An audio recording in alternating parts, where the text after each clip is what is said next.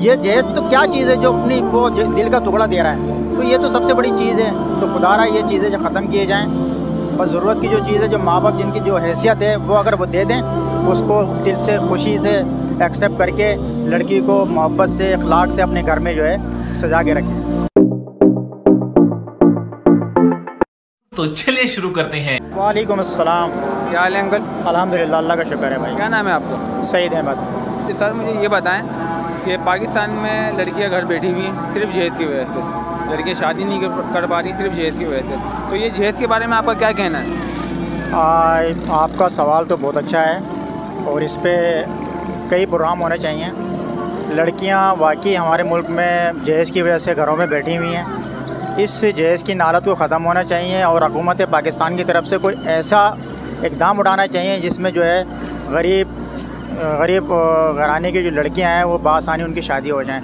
और ख़ास तौर पे जो ख़ानदानी सिस्टम होता है ना एक दूसरे से मतलब ये कि रिश्ते जुड़े हुए होते हैं। उनको तो ख़ास तौर पे ख्याल रखना चाहिए इन रिश्तों का। अगर जैसे चचा की लड़की है खाला की लड़की है तो उन लड़कों को बगैर जहेज़ के जो है उनसे शादी कर लेना चाहिए। क्योंकि अगर सिस्टम अगर घर से शुरू होगा ना तो ऊपर लेवल पे भी इंशाल्लाह सही हो जाएगा। बिल्कुल ऐसी अच्छा अंकल मेरे को ये बताएँ कि आपने जहेज़ लिया था? हाँ अलहमदिल्ला जहेज़ तो मुझे मिला था लेकिन मेरी कोई ख्वाहिश नहीं थी। आ, मैं आ, मेरी ये दूसरी शादी है। पहली शादी में मेरे वालिद साहब ने ख़ुद जहेज़ जो है मुझे खुद करके दिया था। अच्छा, तो क्योंकि वो पहली जो मेरी शादी थी वो मेरे चचा की लड़की से हुई थी तो वो किसी बिना पर जो है वो मेरी शादी रह नहीं सकी।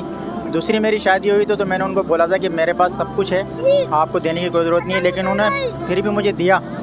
तो मेरी कोई ख्वाहिश नहीं थी। बहरहाल उनकी इस्तात थी उन्होंने मुझे दिया। अच्छा तो, ये हाँ। दूसरी शादी को आपके टाइम हो गया तो, आ, मुझे तकरीबन नौ साल हो गए दूसरी शादी को मेरी शादी को नौ साल हो गए हाँ। तो हमारी आवाम को इस तरफ़ से कोई एक छोटा सा मैसेज देना चाहिए मैसेज मेरा यही है कि भाई ने जो सवाल किया है मुझसे कि गरीब घराने की जो लड़कियाँ हैं जैस की वजह से जो घरों में बैठी हुई हैं मेरी तमाम उन नौजवान लड़कों से और ख़ास तौर पे जो एक दूसरे से मोहब्बत का सिस्टम जो रचाते हैं या करते हैं, अगर वो सच्ची मोहब्बत है तो भाई जैस की नालत से प्रेस होकर उन लड़कियों से शादी करें। और ख़ानदान में भी जो जो जो ख़ानदान है, उन ख़ानदान को भी ये चाहिए कि भाई जैस की नालत को ख़त्म करें। जो ज़रूरत की चीज़ें हैं, जो मुहैया कर सकते हैं माँ बाप वो सिस्टम पूरा करके बच्ची की जो है वो शादी कर दें।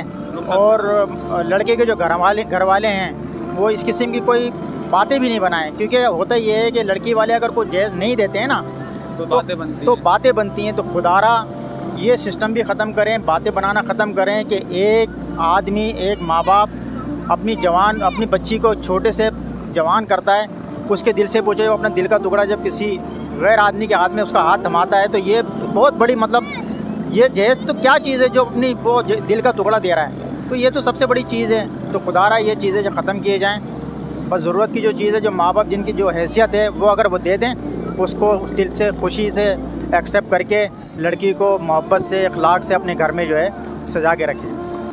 ये मेरा पैगाम थैंक यू सो मच